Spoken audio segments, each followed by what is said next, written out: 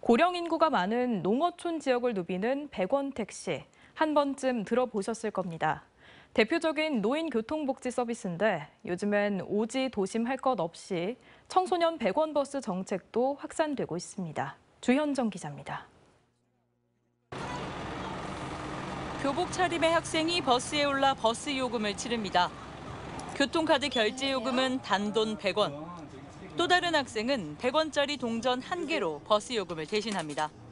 원래 카드에 한 번에 만 원씩 충전했었는데 요즘에는 천 원씩 충전하기도 해요.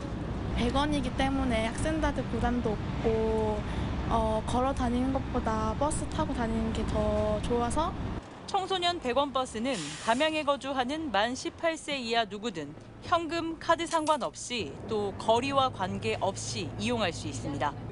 지난해 3월부터 7,500여 명이 이용했는데 담양 전체 초중고생이라면 두 번은 혜택을 본 셈입니다. 교통비 부담을 덜어낸 학생과 학부모는 물론 지자체가 차익분을 보조해주니 운수업체들도 경영 개선 효과가 있어 반깁니다. 농어촌 버스 타일 요금제를 시행하고 나니까 우리 국민들의 버스 요금 부담 경감 그리고 대중교통 활성화에 크게 예, 도움이 되고 있다.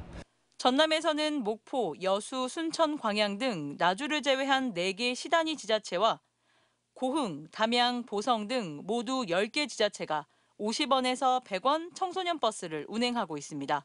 완도, 진도처럼 버스 요금을 받지 않는 곳도 늘고 있습니다. 교통 취약 지역 주민들의 이동권을 보장하기 위해 지난 2014년에 시작된 100원 택시에 이어 이 100원 버스도 보편적 복지라는 인식이 확산됐기 때문입니다. 음, 계속 그 교통 취약 지역 주민들이 어떤 어떤 교통 소외받지 않도록 어, 균등한 그 복지를 혜택을 누릴 수 있도록 하는 게 저희 도의 역할이고요. 버스가 다니지 않는 보성, 화순 73개 오지마을에서 시작된 100원 택시 사업도 10여 년 만에 전남 22개 모든 시군 1,700개 마을로 확대됐습니다. 주민들로서는 여간 고마운 게 아닙니다. 있으면 돈 주고 얼마나 줬어. 세상 좋은 세상이지. 그러네. 그돈 주고는 더안 가져.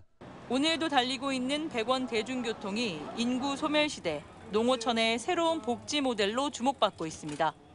MBC 뉴스 주현정입니다.